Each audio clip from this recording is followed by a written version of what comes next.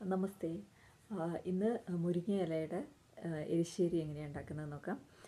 മുരിങ്ങയില നല്ല ഒരു ആന്റി ഓക്സിഡന്റ് ആണ്. പിന്നെ കൊളസ്ട്രോൾ ഡയബറ്റിക് അതിനൊക്കെ കൺട്രോൾ ചെയ്യാൻ നല്ലതാണെന്നാണ് പറയുന്നത്.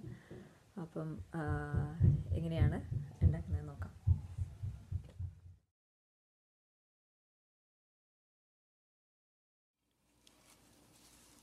ഇന്ന് മുരിങ്ങയിലയുടെ എരിശ്ശേരി എങ്ങനെയാണ് ഉണ്ടാക്കുന്നത് നോക്കാം. അപ്പോൾ അതിനായിട്ട് മുരിങ്ങയിലെല്ലാം ഈ തണ്ടിൽ നിന്ന് വളർത്തി ക്ലീൻ ചെയ്തെടുക്കുകയാണ്. അങ്ങനെ നമുക്ക് ഈ തണ്ടെല്ലാം സെപ്പറേറ്റ് ചെയ്തെടുക്കണം. അപ്പോൾ അതിനായിട്ട് അങ്ങനെ ഇലകളെല്ലാം മാറ്റി മാറ്റി എടുത്തിട്ട് തിരിച്ചു വരാം. ഇല ഞാൻ എല്ലാം ഇലകളെല്ലാം മാറ്റിയെടുത്ത് കഴുകി വൃത്തിയാക്കി കൊണ്ടുവന്നതാണ്. അതൊരു രണ്ട് കപ്പുണ്ട്.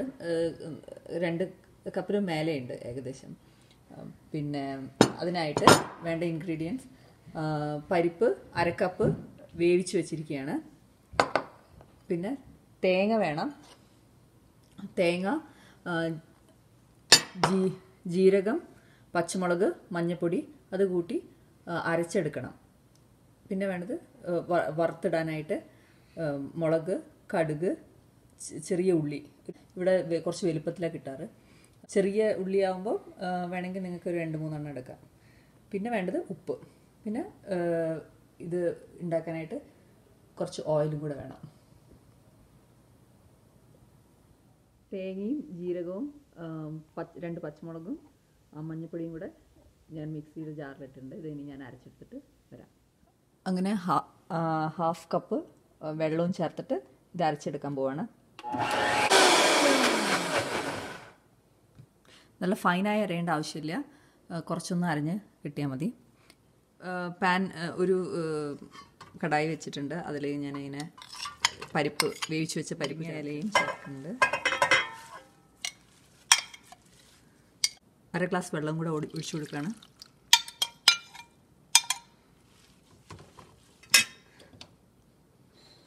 സ്റ്റവ് ഓൺ ചെയ്തു.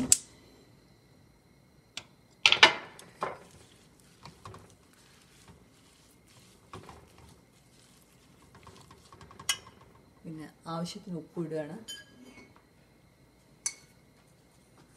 ഉപ്പ് നിങ്ങളുടെ എല്ലാവരുടെയും ഇഷ്ടത്തിനനുസരിച്ചിടുക ഇനിയിപ്പോൾ ഒന്നര ടീസ്പൂൺ ചേർത്ത് കൊടുക്കുന്നു.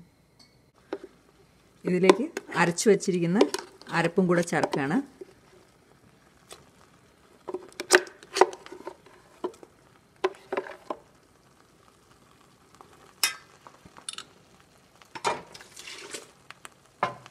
ആ മിക്സിയുടെ ജാറ് കഴുകി ഒരു ഹാഫ് ഹാഫ് കപ്പ് വെള്ളം കൂടെ ഞാൻ ആഡ് ചെയ്യുന്നുണ്ട്. അങ്ങനെ ടോട്ടൽ ഇപ്പം ഒന്നര കപ്പ് വെള്ളം ആഡ് ചെയ്തിട്ടുണ്ട്. അടച്ചു വെക്കുകയാണ്. അടച്ചു വെച്ചിട്ട് വേവിക്കുകയാണ്. കറി തിളയ്ക്കുന്ന നേരം കൊണ്ട് ഉള്ളി നമുക്ക് അരിഞ്ഞു വയ്ക്കാം ചെറുതായി അരിയാം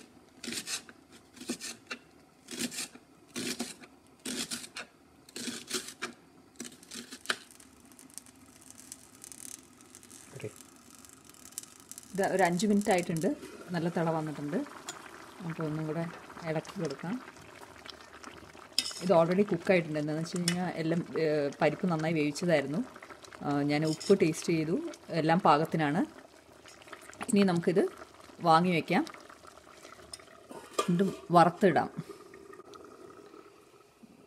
വാങ്ങി വയ്ക്കാം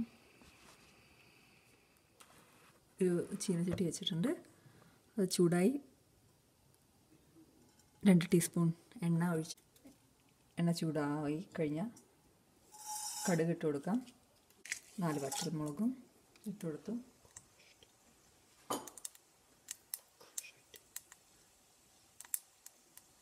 കടുക് പൊട്ടി തുടങ്ങുന്നുണ്ട്. ആ കടുക് മുഴുവൻ പൊട്ടി കഴിഞ്ഞു. അപ്പം നമുക്ക് അരിഞ്ഞു വെച്ച ചെറിയ ഉള്ളി ചേർത്ത് ഇതൊന്ന് ഒന്ന് മുരിഞ്ഞ് വരണം. നന്നായി വഴറ്റി കൊടുക്കാം. ഉള്ളി മൊരിഞ്ഞ് വരുന്ന സമയത്ത് നന്നായി ഫ്രൈ ആയി വരുന്ന സമയത്ത് വേണമെങ്കിൽ ഒരു പിടി തേങ്ങയും കൂടെ ചേർത്ത് കൊടുക്കാം. അത് ഓപ്ഷണലാണ് ഞാനിപ്പോൾ ഒരു പിടി തേങ്ങ ചേർക്കുന്നുണ്ട്.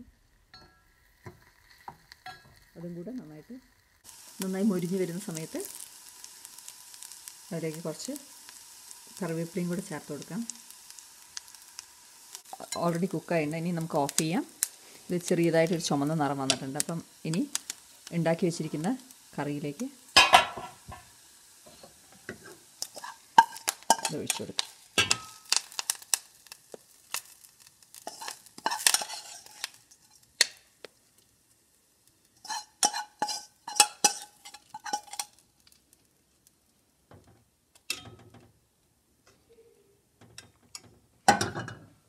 രണ്ട് മിനിറ്റ് അടച്ചു വയ്ക്കാം.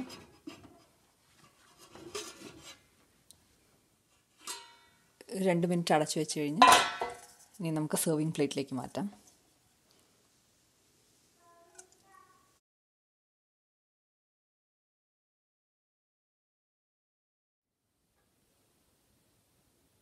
അങ്ങനെ നമ്മുടെ മുരിങ്ങ ഇലയുടെ എരിശ്ശേരി റെഡി ആയിട്ടുണ്ട് ഇനി അതൊരു ചോറും ഒരു പിക്കിളും കൂടെ കൂട്ടി കഴിക്കാൻ പോവുക താങ്ക് യു